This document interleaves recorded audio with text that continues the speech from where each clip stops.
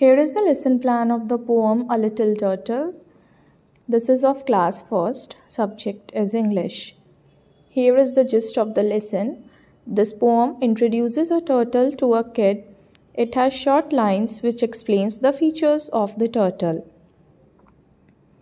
Here are the focused competencies.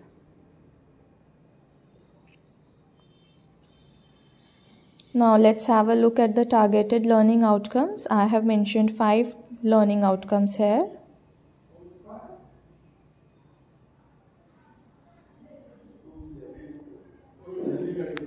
Here are the teaching learning activities planned for achieving these targeted learning outcomes.